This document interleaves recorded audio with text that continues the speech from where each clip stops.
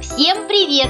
Меня зовут Виктория Папшева и добро пожаловать на канал Фима ТВ. В этом мастер-классе я покажу, как сделать милую брошечку панду в красном шарфике. Для работы мне понадобится полимерная глина Фима черного, белого и красного цвета, Фима гель, скалочка или паста машина, экструдер, макетный нож или лезвие, силиконовая кисточка, иголка, рисунок панды, глянцевый лак Фима, а также суперклей, застежка для брошки и автомобильная наждачка разной зернистости.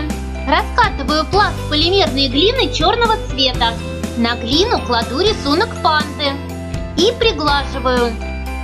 Можно прикатать скалочкой, чтобы рисунок пристал к глине. Затем беру иголочку и начинаю продавливать контуры рисунка. В результате на глине появилось изображение панды.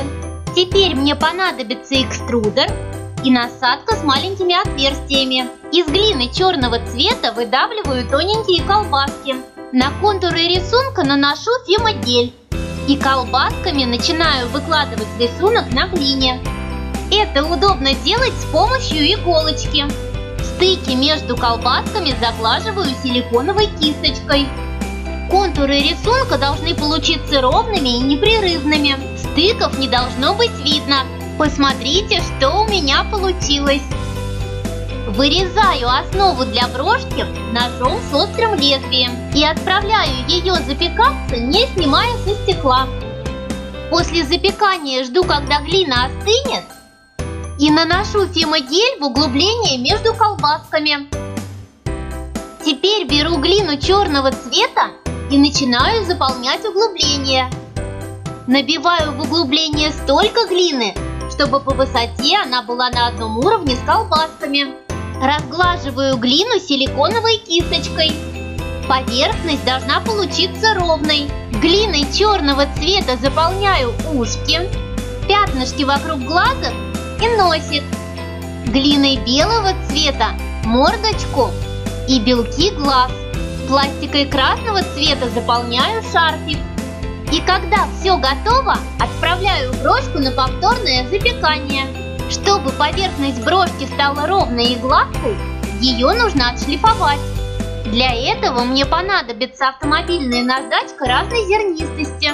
У меня листы зернистостью 600, 800 и 1200. Начинаю с самой крупной наждачки зернистостью 600. При шлифовке необходимо постоянно смачивать лист наждачки водой.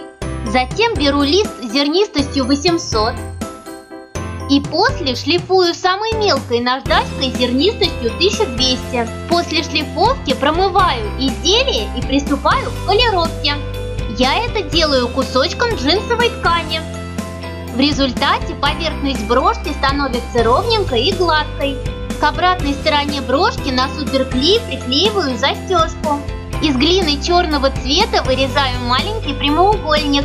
Смазываю поверхность брошки вокруг застежки фимогелем. И приклеиваю на застежку прямоугольник черного цвета. Лезвием отрезаю лишнюю пластику. С той стороны, где иголочка крепится к застежке, вырезаю небольшой треугольник. Это позволит иголочке свободно двигаться. Стеком с маленьким шариком делаю оттиски по краю прямоугольника, закрывающего застежку. И снова отправляю брошку запекаться.